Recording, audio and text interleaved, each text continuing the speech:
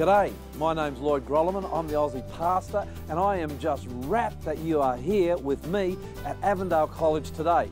I've been walking across this rickety old bridge, and I tell you what, Lucky, my dog, she don't like it. But I love this place. It's where I was educated, it's where I've got a whole heap of friends, and yep, it's actually where I met Jesus too, so it's very special to me. But we're going all over the place today. We're going up to Queensland, Gold Coast, Sunshine Coast. I think you're really going to enjoy this. But before we go too much further, I want to take you back 27 years to Avondale College when I was a student in this place. This is the dairy where every morning at five o'clock I would milk a hundred head of cows. Beautiful girls, good milk. And this is the college auditorium where I learned to play basketball and I never got a hold of that game the whole time I was there, but I did get three broken ankles.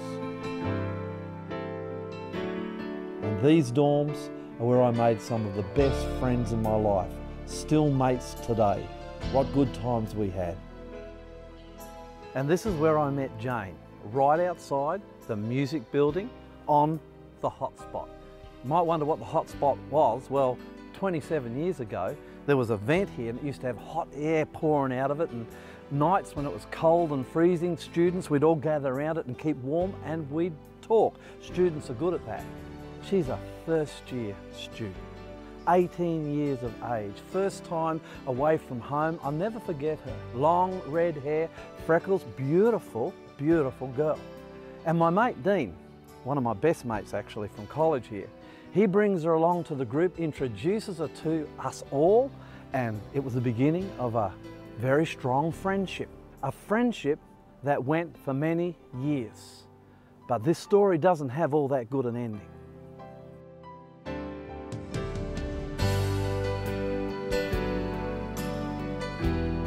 And so we're all having a good time as a group. We're going out on Saturday nights, mucking around at college here. It was a great time. We're all getting to know each other better. Semester break. We all go home. Great to go home to family.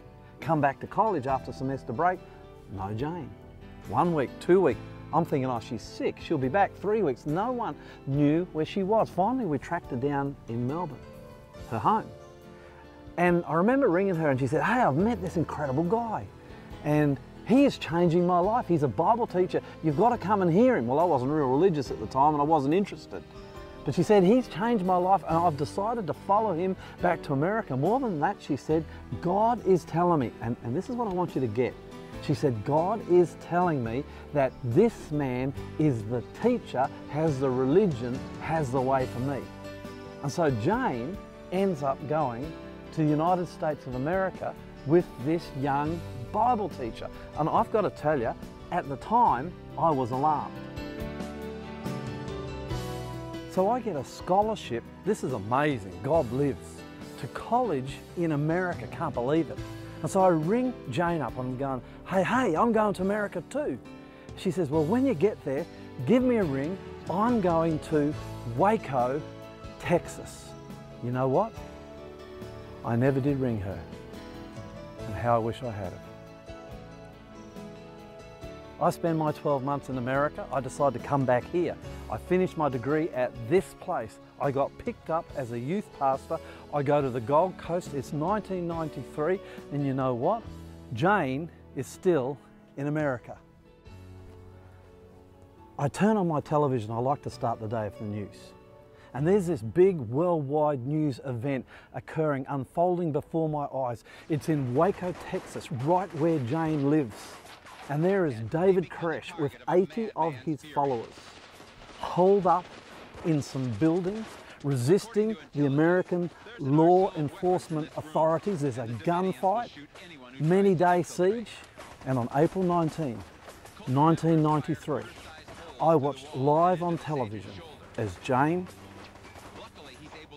her two little children, her husband, and 80 others perished with David Koresh in the fires of Waco, Texas. What happened? This girl claimed she heard the voice of God. She was so sure and she followed what she believed was the voice of God to Waco, Texas. She got caught up in a sect and her and her family perished. What happened? How do we hear the voice of God? How do we know it's the voice of God or something more sinister? What happened to Jane? How can we be sure? Today I'm going to answer those questions. How can you be sure that you are hearing the voice of God? I'm going to show you how to hear the voice of God. I'm going to show you how you can be sure it is the voice of God. This is a good program. Imagine I come to the airport with my girlfriend. I've only known her a couple of weeks and I'm going away on a trip somewhere. Now, I don't really know her that well, so I go away for a month. I say goodbye, she says goodbye, not even tears, we haven't known each other long enough. I come home after a month. The airport is chock a block full of people. She's there to meet me. You know, Lizzie, my wife, let's pretend she's my girlfriend back then. She's only five foot something, not real big. And she's in this big crowd of people at the arrivals and she's waving and she's yelling out to me. I can hear her voice, but I can't. And do you know why? Because I don't know her that well. I've only known her, we're pretending, only known her for two weeks. I think that's what it's like with God. His voice is there, it's in our head, He is talking to us, but most of us don't know Him. And so we don't hear His voice. And that's a big problem. And one I'm going to show you how you can defeat and beat. 25 years ago, right here on the Gold Coast, this is where I came for my first appointment as a pastor. And it was fabulous. I had such a great time and I found this place to live. Can you believe it? Right on the beach, 10 floors up. It was incredible. And when I came here, I'm right on the ocean. I can see from one end of the Gold Coast to the other. There's one sport I knew I had to try surfing. And I tried it and I loved it. And there was one beach in particular that I liked more than any other. Let me take you there because I got a little story. I'll never forget this.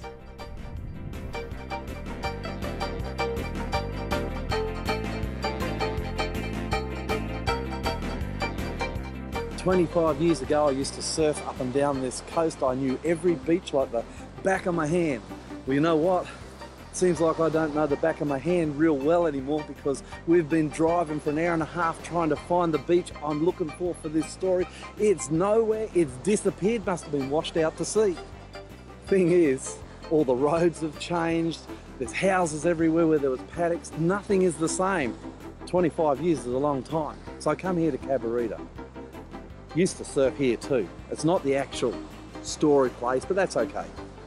This place I like surfing, I used to go there by myself, morning and evening. When the surf was up, it was one of my favourite spots until one day my friend Mark, he lived down here on the coast, he used to surf too. He says, I was out the other day surfing our favourite spot. And he said, you know what? A shark popped his head up out of the water and looked at me. Now I'll tell you something, there's only one shark that does that, the tiger shark. And he's called a tiger shark because he's got stripes, just like a tiger when they want to be, they're man eaters. He said, I saw this tiger shark. He said, I paddled in as fast as I could. You know what? That became a real block, a mind block. It was a physical block to me going back to that beach and ever surfing again. It was a block, mental block, physical block, just as that shark was a block to me going back to that beach. So there are blockages for you and me hearing the voice of God. Look at this text. Isaiah 59 verse 2, it's your sins that have cut you off from God. Because of your sins, he has turned away. A great big tiger shark cuts me off from surfing here. My sins, and we've all got them, your sins, we've got them. They cut us off from God. We can't hear his voice we've got massive problems. Not only do I have a whole lot of voices in my head, but now I find out that my sins cut me off from hearing Him. We've got big problems, but don't panic. It's going to be okay.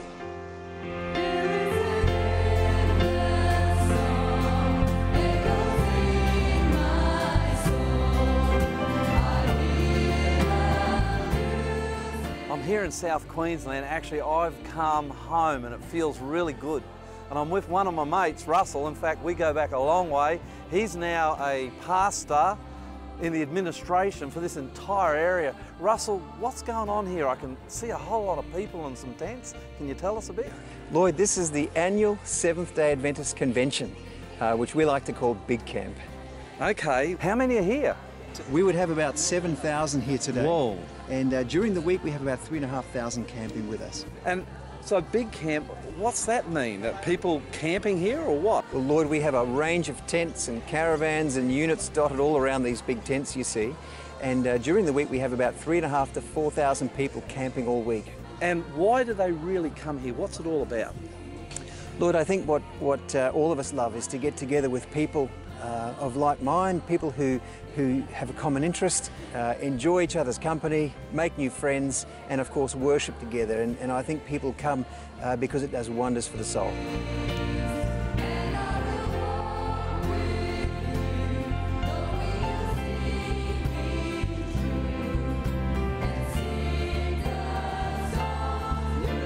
So I've got a tent behind me. I I can hear people singing. This one here is the big family tent, which, which reaches out particularly to adults during the day, but includes children at night as well. Thanks, Russell.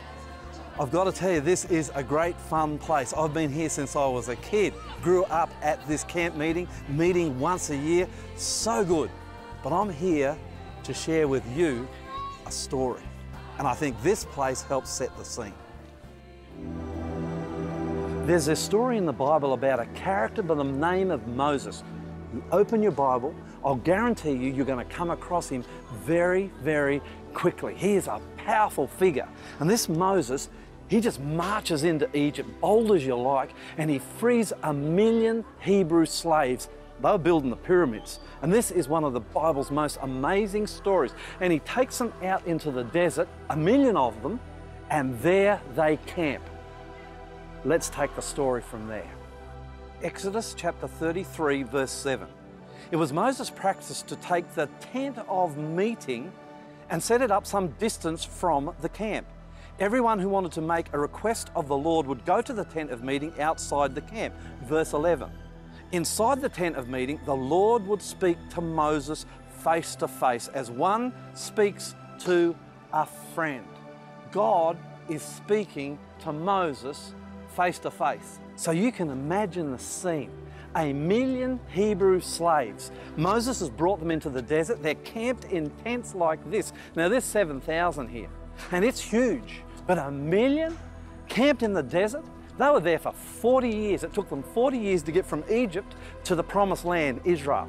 And here they are, a million of them, and Moses does something very special.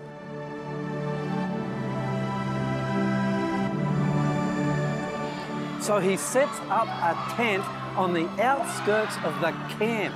And what he does in this tent is totally, it is absolutely amazing. He talks face to face with God.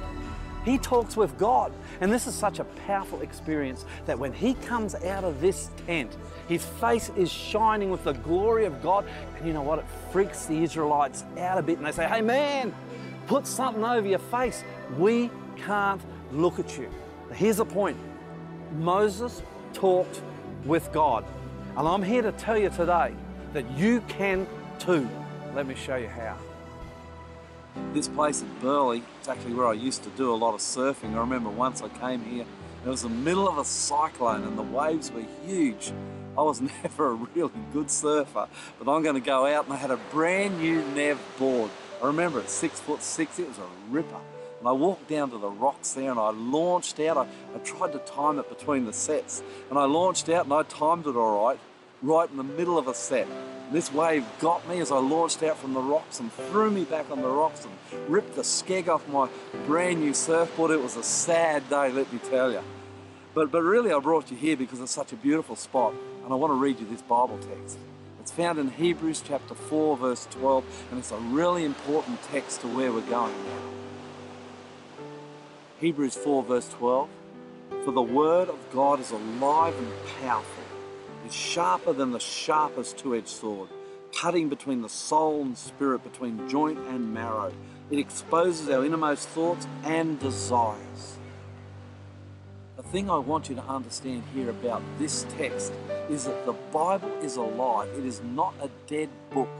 When you open it, the Holy Spirit, who is God Himself, comes down into your mind and into your heart, and the words leap out at you. They leap out like fire. This is a very powerful experience that is available to us all. It's available to you. I want to share some more with you now. This is Duranbah, one of the best beaches on the Gold Coast, not because it's the most picturesque, but because it's got one of the best breaks the entire length of the coast. And I used to come here a lot with my mates and surf, but you know what? I was never a real good surfer, and that's a fact. And so I started off on the southern end, and I really enjoyed surfing that end, but very quickly got moved on by the locals to the northern end, where all the amateur surfers like me surf.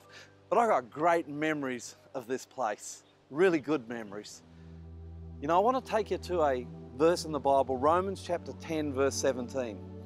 This is the crux of the entire subject today how to hear the voice of God. And if you get this, you'll get what I'm talking about. Let's read it. Romans 10 17. Faith comes by hearing, and hearing comes from the Word of God. Did you hear what that text said? Faith, that's believing God exists. Faith comes by hearing. By hearing, you've got to hear. And hearing comes by the Word of God, by the Bible. If you want to hear, if you want to hear God's voice, you've got to be, you've got to read the Bible. I want to, I want to unpack this a little more for you because this is very exciting. So here I am at my dad and mum's place in Brisbane, and I'm going to show you how to hear the voice of God. This is how I do it, and I do it every day. And if I can do it, I want to assure you, I promise you, I guarantee you, you can do it too. I've got an NLT Bible, and I've got an NLT Bible because it's a modern version. It's really, really easy to understand, and I think that's important. Now, you remember at the beginning of this show, I said that one of the problems we have in hearing the voice of God clearly is sin. Sin is a block. Sin gets in the way. Now, I don't want anything to block me now from hearing God, so this is what I do I pray. Now, normally I do it silently. But tonight, so you can see what I do, I'll say it out aloud. So let's do it. Let's pray. Dear Father in heaven, I come before you. I acknowledge I'm a sinner and I pray for the forgiveness of my sins. Wash me clean, I pray, so that I can hear you clearly. Is my prayer in Jesus' name. Amen. Now I can begin my Bible study. Now I begin listening to God. This is very exciting. I divide my page into four columns, and at the top of each column, I have a heading. First column, date. Second column, Bible book, chapter, and verse. Third column, what it means to me. And the fourth and last column, pray or what I can pray about. I then write the date, 27th of September 2016, and I begin my Bible study. And when I begin my Bible study, I read really, really slow because I'm looking for God's voice to me. I'm not just reading it like I read a book, I'm actually searching, listening very intently. I'm trying to hear the voice of God. So here we go Romans 12, verse 1. And so, dear brothers and sisters, I plead with you to give your bodies to God because of what He has done for you. Let them be a living and holy sacrifice the kind he will find acceptable. This is truly the way to worship him. Oh, God's voice leapt out at me there. And so then I write down what that verse actually means. I might sit for a moment, I might meditate on it, I might go back and read it a couple of times. I'm listening, I'm looking for the voice of God. This is what it said to me God wants me, Lloyd Grolimund, to be a living sacrifice. And so I write it down. God wants me to be a living sacrifice. Is there anything I can pray about in this scripture. I think about it again, I meditate. Well, yeah, there is. Help me, and I'm writing this down in the prayer column now. Help me, Lord, to surrender to you. And so I keep going in this Bible study. I might do three verses, I might do five. When I've had enough, when I can't concentrate any longer, I stop. And that is God speaking to me. Powerful, isn't it? You try it, you'll be surprised. God's been speaking to me. I've been in Romans, so really, really clear. Now I'm going to speak back to Him from the prayer column. And so I talk to the Lord in prayer. I'm responding. And I do it with my eyes open. This is a prayer with your eyes wide open. Lord, so here we go. Lord, and this is real. Lord, help me to surrender to you. Lord, transform me. Lord, I want to see myself clearly for my weaknesses and my strengths. Thank you for talking with me today, I pray. In Jesus' name, Amen. Now, just a couple of other little things. When you first start this, you might only get one thing a Bible reading from God. In fact, you might go through days where you get nothing. That's okay. Stick with it. Don't give up. Keep going the more you listen to God through your Bible study, through your Bible reading, the more you're going to hear His voice. You will recognize it. He will not be left in a maze of other voices in your head. You will hear Him until you get to where I am. I've been doing this for 25 years. I can just about open the Bible anywhere and start reading, and God starts speaking to me. This is an incredible experience, and I pray you have it like I have, because I tell you what, it's a real privilege. 24 years ago, almost a quarter of a century ago, I got moved by my employer, the church here in southeast Queensland, from the Gold Coast to the Sunshine Coast. Not bad, eh? And I'm about to get married. And so I come up here with my dad and we're looking for a, a house or a, a block of land and we came to this street. It was like, in my mind, it's like it was yesterday. And we go down this, there's not a single, as I go down this street, there's not a single house anywhere on this side of the street. And all these blocks of land were for sale, an acre and a quarter. And I found this block, and it's just down here. I paid 72,000 for it. Can you believe it? An acre and a quarter. Here it is here, and I, I built this house. And you wouldn't believe it, they've even got the same letterbox out the front. And three of the best years of my life were spent here. And I loved living here. I want to show you why I loved living here. Come and have a look at the Sunshine Coast for a moment with me. This place is paradise on earth. It's heaven.